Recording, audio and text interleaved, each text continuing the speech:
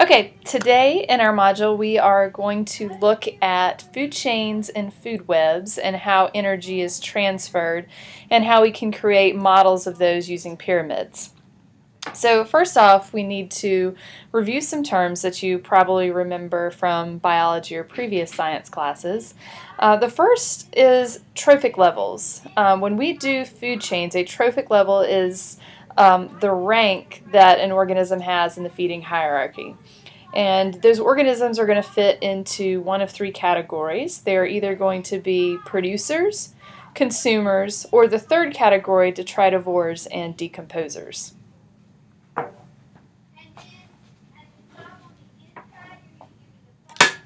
So we will start with producers. Producers are the lowest on the food chain. They are at the first trophic level. We have two types. We have autotrophs, which are photosynthetic organisms like green plants, certain types of bacteria, and algae. And then we also have chemosynthetic bacteria that are usually found on the deep ocean floor and they use, or deep underground, but they use geothermal heat instead of solar energy uh, to drive the chemical reactions. So our producers are those that um, produce the energy for themselves and for the rest of the food chain.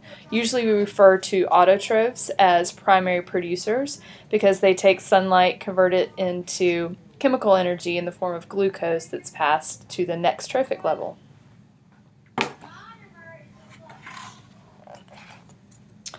At the second trophic level, we have our uh, primary consumers and they are generally known as herbivores because they are the vegetarians. They eat the primary producers. Then we have secondary consumers that are the third trophic level, and they consume the primary consumers. They are the carnivores. Omnivores can fall at either primary or secondary. They can be the second trophic level, third trophic level, depending on what they're eating. Because omnivores eat both plants and animals. We can also have consumers at higher trophic levels. Um, if they're eating the secondary consumers, they are known as tertiary. That is the fourth trophic level. And occasionally, but it's pretty rare, a quaternary consumer uh, would be the fifth trophic level. Now, these are usually, uh, the tertiary and quaternary are going to be your top carnivores. Um, they're your things like your birds of prey, um, mountain lions. You know, we have fewer of those organisms. Those are the ones that are usually um, on the endangered list, and we'll talk about why we have fewer of those organisms in just a minute.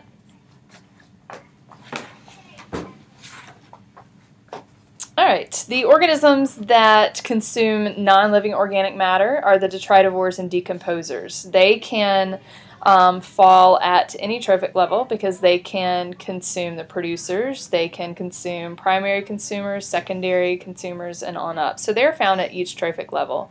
The two types, the detritivores, are those that eat waste products and dead bodies, like millipedes would be an example.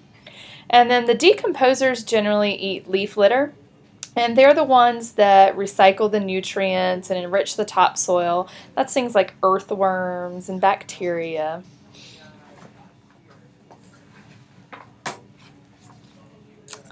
All right, so if we put that all together um, into a food chain, our primary producers are our first trophic level.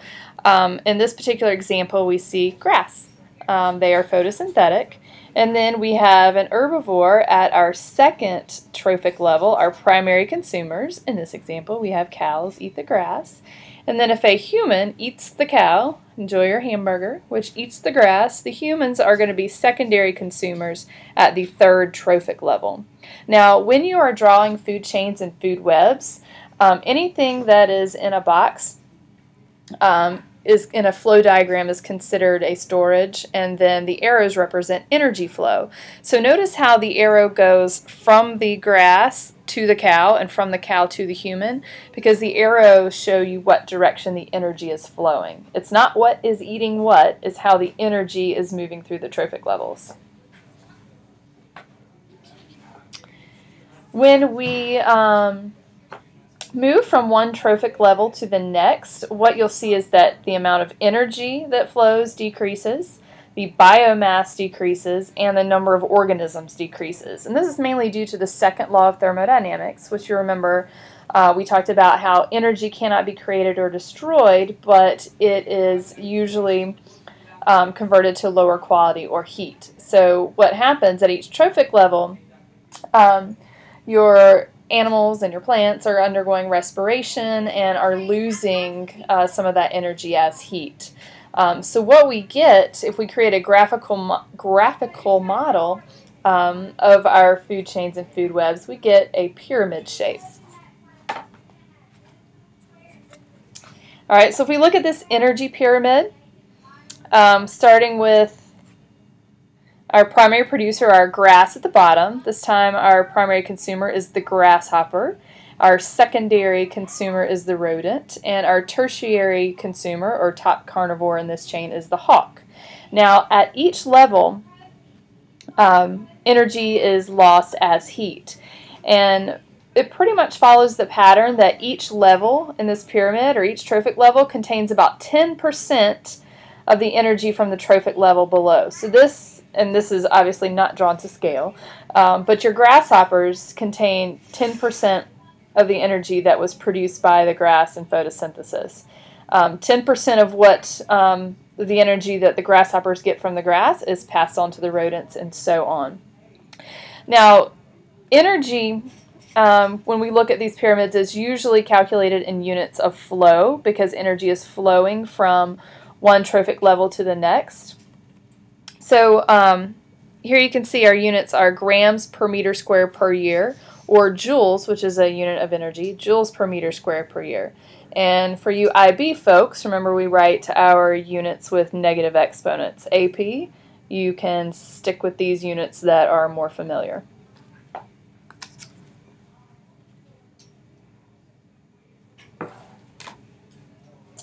Okay, if we look at a biomass pyramid, which shows the dry weight of organisms at each trophic level, it's going to follow the similar shape. We have our um, pyramid, um, and there's going to be fewer organisms at the top because there's less energy available. Um, one of the things you may notice, if you think about what the largest um, organisms in the world are right now, it's the blue whale. The blue whale eats teeny tiny plankton that is photosynthetic, but it gets more energy from that plankton than it would if it ate something at a higher trophic level like the larger fish. Um, if you think about the dinosaurs, those that were herbivores like the Brontosaurus were much larger than the um, carnivores. Um, so those that are at the top of our pyramids, both biomass and a numbers pyramid, which would also follow the same shape, um, are usually those that are on the endangered list because we have fewer of them.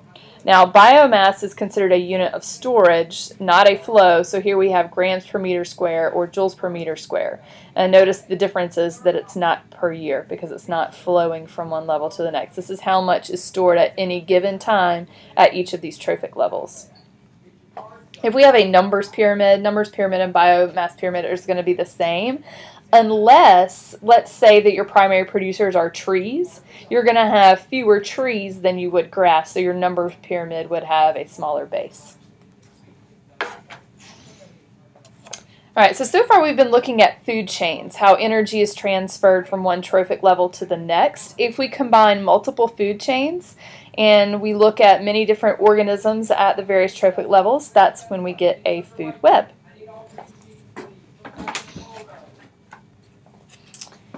Here is an example of a food web. So you see we have, um, you know, on this side here is a simple food chain. I've got um, the bears that eat the bees that eat the blossoms.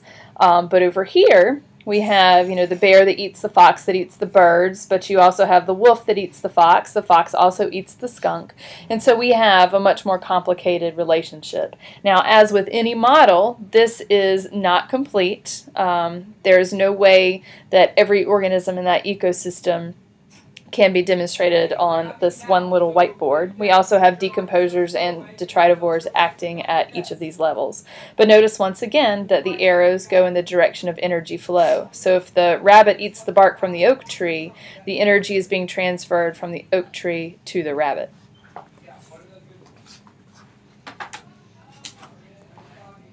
Okay, two more terms. Um, bioaccumulation is when any substance, and it looks like I smeared my type over here, but uh, builds up in the tissue of a living organism. Um, for example, uh, DDT is a pesticide that was once used, and it would run off from the land into the water where it would build up in the tissues of the fish. Well, if a bird of prey came in, swooped down, grabbed a fish, ate the fish, then that DDT would also accumulate in his tissues. Um, when this happens, when you have a substance that is passed from one trophic, trophic level to the next, you get biomagnification. Um, because if you think about in terms of fish, um, let me get my next slide. All right, your producers are going to have, um, these little dots represent DDT. Um, your producers are going to have um, DDT built up in their tissues. Um, at the next trophic level, here I have my primary consumers, my little itty bitty fish that are also swimming in the same water, so they're going to build up the DDT. It's going to bioaccumulate in their tissues. Um, but when they eat the primary producers, they eat that photosynthetic uh, plankton, then not only do they get the DDT that was in the water in their tissues, but also whatever was built up in the tissues here. So you can see the amount is more concentrated. And then when you have the big fish that eat the little fish, he's going to have uh, the DDT that he picked up from the water plus the DDT that all the little fish that he ate get picked up from the water. All right, and then so what happens, these birds of prey that eat the fish have very concentrated DDT in their tissues. And one of the things that we saw as a result was that the eggshells um, on the eggs that they laid were very thin and brittle, and so the eggs weren't hatching correctly uh, or the young were dying because of the thin shells and so we were seeing reduced numbers of these birds of prey. Now we no longer use DDT um, uh, due to more awareness of what some of our pesticides and how they're dangerous to us. And if you remember Rachel Carson, uh, who wrote Silent Spring, uh, brought awareness uh, to DDT and its dangers back in the 60s. All right, on um, the next thing I want you to do on your module is to watch the video clip of what happened in Minamata Bay, Japan, and you'll see another example of bioaccumulation and biomagnification of mercury.